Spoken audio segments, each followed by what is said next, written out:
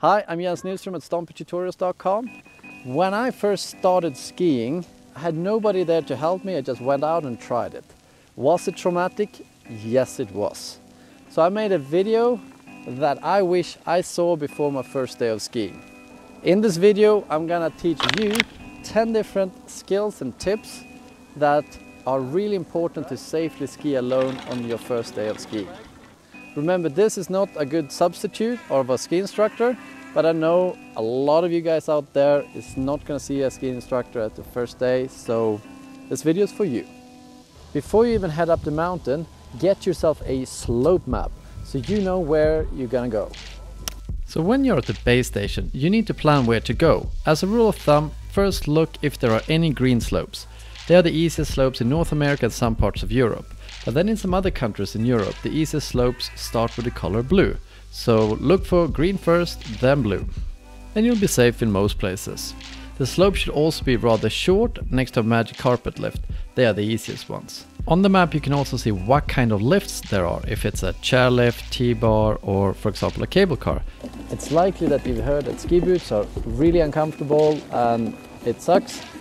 So that's why I'm going to show you how to get them on properly so you have a bigger chance of having like comfortable shoes and better time simply. When you take your ski boots on it's great if they're warm because cold boots are stiff. Undo all the buckles and bend the shell out and pull the tongue up. Push the foot down with the toes pointing straight down, then bang the heel into the ground to make the heel slide into the heel pocket. Then tighten this strap, then the top buckle. Repeat and it feels nice and tight then tighten the strap. Gently buckle the lower two buckles. If you do them too tight, you press the foot arch down too much and this will cause pain and cold feet. This is important. You put one slightly higher, then down.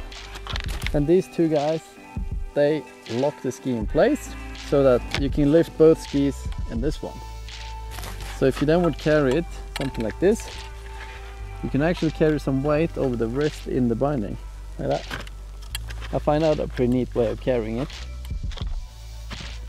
Carry them straight and the poles too. Don't carry anything like this in the beginning because you'll stab people in the legs and stuff. Don't be too tempted to carry the skis on your shoulder. Oh shit, now I have it on the wrong side. Noob. Oops. uh, pay attention to this as I mentioned. Oh, terrible. Uh, anyway, so carrying the skis on the shoulder can be quite dangerous. We need to know how to get the skis on.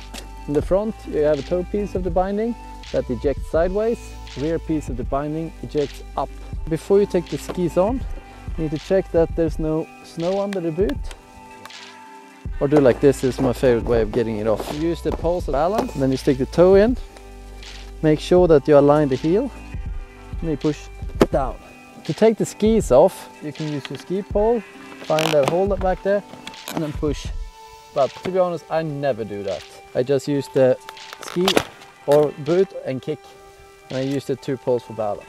All right, now when we got the skis on and helmet, back protector is also a good idea. Uh, we need to learn how to move forwards to get to the lift. And um, you take the poles on like this and then down because then you can push with a lot of force downwards and when you drop the pole it's rather safe. So to just use your poles is the easiest way of moving forwards. Um, but it's not very powerful. That's why we're also going to look at how to skate briefly. Poles down and then push forwards. You can use your legs a little bit that you go down when you push forwards.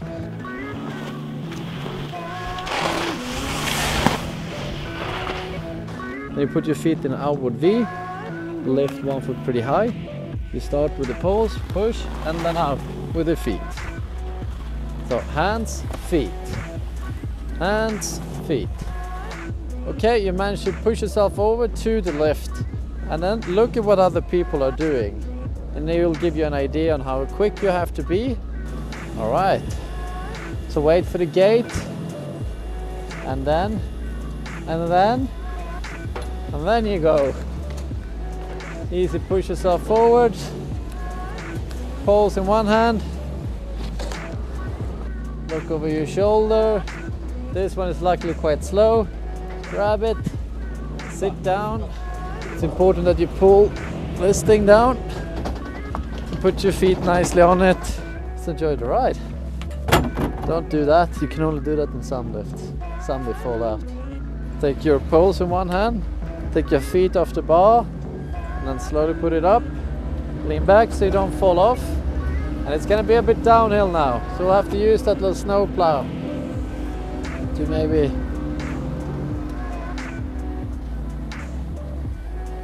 to safely right off to the side and stop.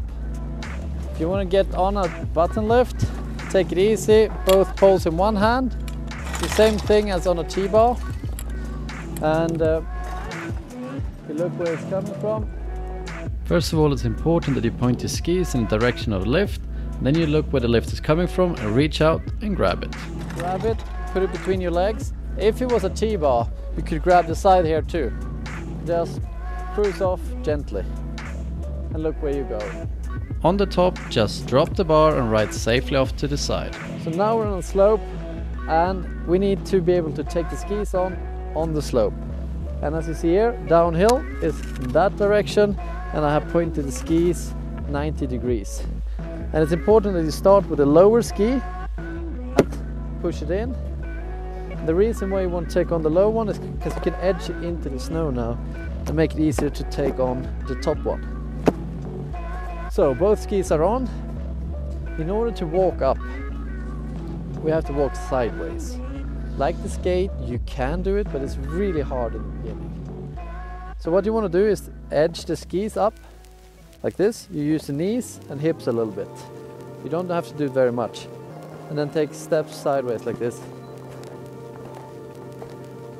But remember to use your poles, so in case you start sliding forwards or backwards, you can use the poles to slow you down or stop you. Here I'm obviously faking a crash, but this is how people tend to land all the time. Head down the slope with the skis crossed. And the way to get up again is that you first like extend your legs a bit, do a bit of a split like that to uncross the skis. And then you have to get your feet under you so now it's downhill in that direction and I'm 90 degrees uh, at an angle with the downhill. And then get your feet really close to your bum. Then you can use like the fist or the hand to get up. That takes a bit of muscle power. If you're a little bit bigger than I am, that's not so easy. Then you can put or your pose like this. So I'm grabbing on the top, and then this hand on the bottom, and then you can use the poles to make yourself stand up. If you crash, then it's likely that it's going to eject in the front and leave the back binding down. And what's annoying with that is like that you can't really get in the ski.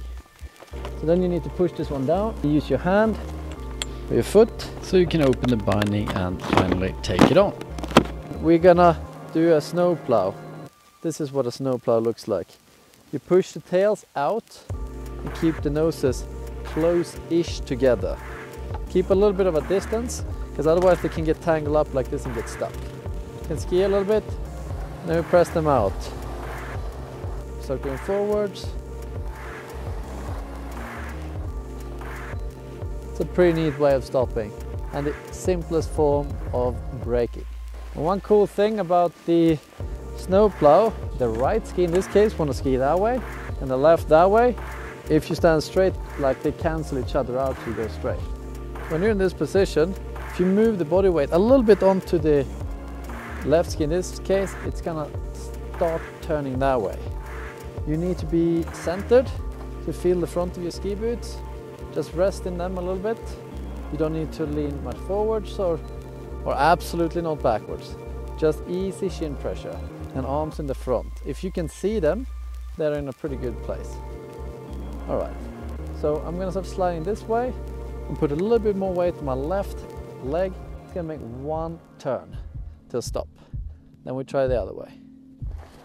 We're going to the snowplow. A little bit more weight on the left. Put a little bit more weight on the outside foot. Makes me turn until I go slightly up the hill. So I use the terrain to slow me down. So now we're gonna put more weight on the right foot to make a turn to the left. It's confusing in the beginning, but it's not that hard. Get into this nice snowplow, Put more weight on it. Ah, sick, right? Try that a couple of times. We isolate it, do one turn at a time. Because now we'll try to link the turns together. So we go straight down the mountain. More weight on the left foot. Then we put some more weight on the right, making this turn this way.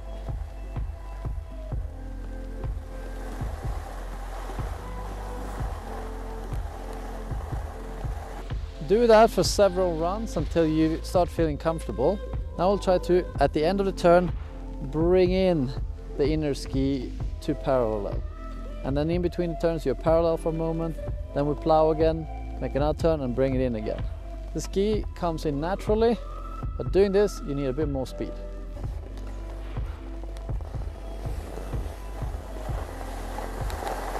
And then we and then the knee comes in. You'll notice that when you're snow plowing that it can feel like the ski is stuck and if you then push that knee out it's gonna make the ski slide in easier.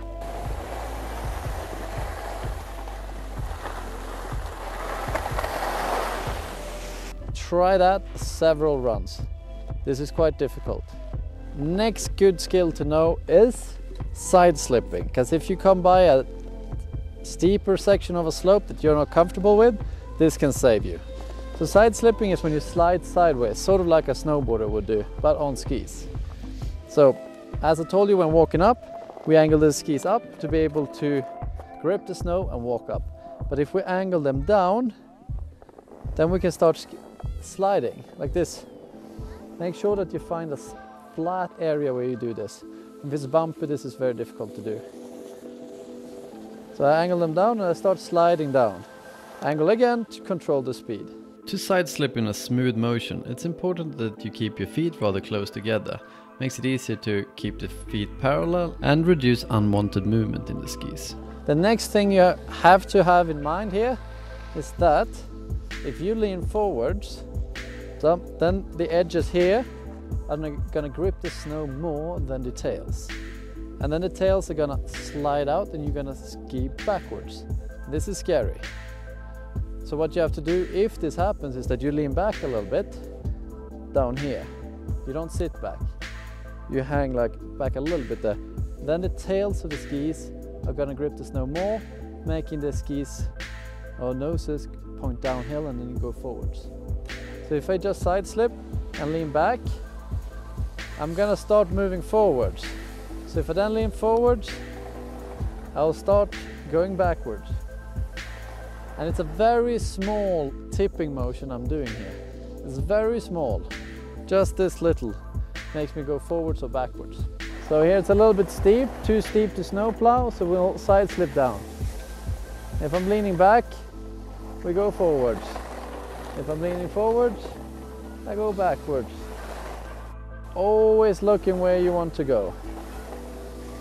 You, you can make a scary steep section very easy if you get control of the side slipping because you can brake much harder than with the snowplow. Here's a quick simplification of the parallel turn and uh, it's just so you get a feeling for how you can start it if you're out there practicing this alone.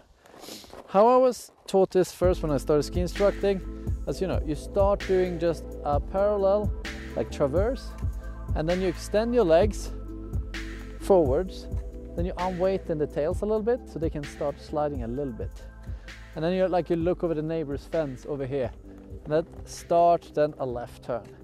And at the end of the turn you compress. And then you traverse a little bit. And then you repeat that movement again. And I'm bent. I extend the legs. Patiently wait. Go down. And then repeat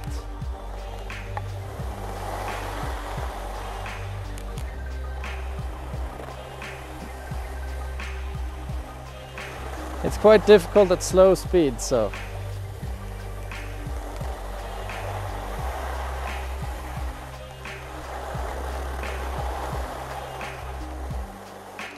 Maybe you could see there in the end it got a bit too flat and too slow and that is a little bit tricky.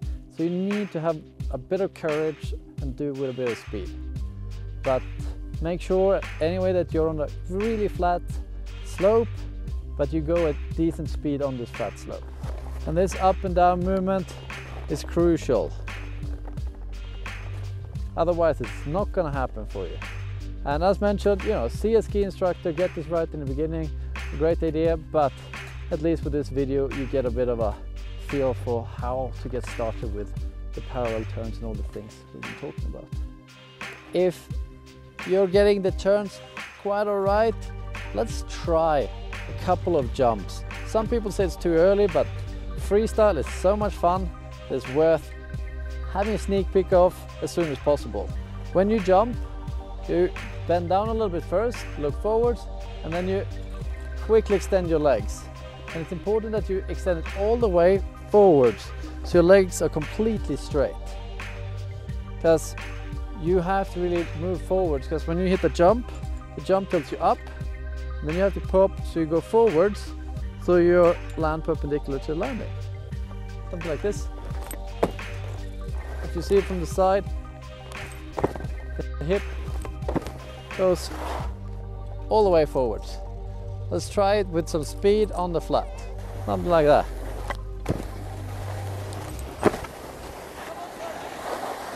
May go something like this from a plow, parallel, jump, jump. If you felt good, you can try jumping over a roller or something that resembles a tiny jump. Because here you have to bring the hip forward so you land perpendicular to the landing. Uh, I hope you enjoyed this video. I know it's quite a simplification of skiing that is difficult. So maybe you want to see an instructor, but if not, good luck learning from this video. Uh, if you want to learn some tricks in the park later on, you can check out our first 10 tricks video or you head over to stompingtutorial.com slash beginner and get our beginner pack, which is two hours of beginner trick tips and techniques. It's pretty good for you who are just getting started. Or join one of our camps. I am uh, looking forward to see you again, so hit subscribe and you'll be notified when we drop the next video. Thanks!